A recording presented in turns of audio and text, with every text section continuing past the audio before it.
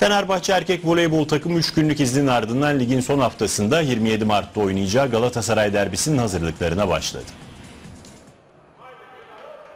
Fenerbahçe erkek voleybol takımı ligin 20. haftasında evinde oynadığı ve 3-0 mağlup ettiği Arkas Spor maçı sonrasında 3 günlük izin yaptı ve dinlenme sürecini tamamladı.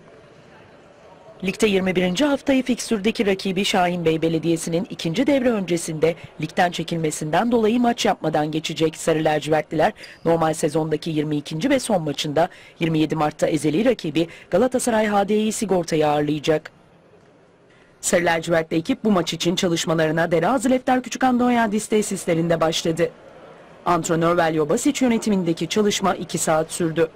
İdman ısınma hareketleriyle başladı. Hücum programları ve istasyon çalışmalarıyla devam eden antrenman manşet ve servisle sona erdi.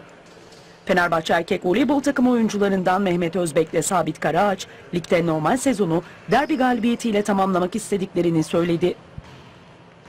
Arkas maçında gerçekten çok iyi mücadele ettik. Ee, maçı 3-0 net bir skorla kazandık.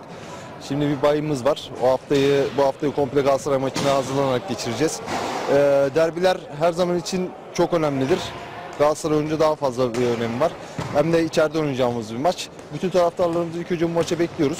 İnşallah e, galip gelmek istiyoruz. İlk dört yolunda çok büyük bir adım attık.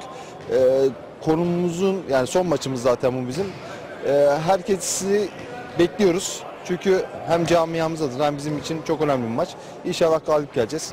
Çalışmalarımız o yönde devam ediyor.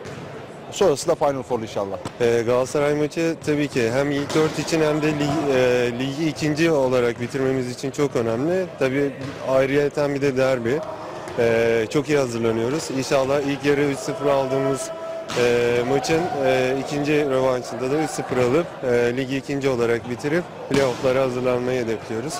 İnşallah tüm taraftarlarımızı bekliyoruz.